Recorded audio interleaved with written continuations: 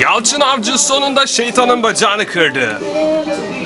Flash flash flash. Yalçın Avcı ve Talip Karamahmutoğlu yıllar sonra İstiklal Caddesi'nde bir araya gelerek bir film senaryosu üzerinde çalışmaya başladılar. Yalçın Avcı kameralar karşısında geçecek. Ben Yalçın Avcı'yı 25 senedir tanıyan bir adam olaraktan çok destekliyorum ve çok mutlu oldum onu duyunca bu abi. Teşekkür ediyorum ve Yalçın. Ve Yalçın. Ve ve ve ve Talip Karamahmutoğlu'na çok teşekkürler, çok teşekkürler. Talip Karamahmutoğlu sonunda bana rol verdi. Talip Karamahmutoğlu'na sonsuz şükranlarımı sunuyorum. Evet sayın seyirciler, evet sayın seyirciler. Talip Karamahmutoğlu şu anda şu anda Hemen Talip Karamahmutoğlu'nu arıyoruz. Alo Talip Bey merhabalar. Ee, yıllar sonra Yalçın Avcı'ya neden rol verdiniz? Hı hı. Evet.